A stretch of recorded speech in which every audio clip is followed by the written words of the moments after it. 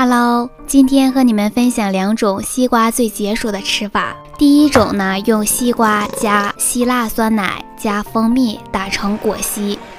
再倒入碗里冰箱冷冻一晚上，再用一个铁勺子把上面的冰碴儿一点点挖下来，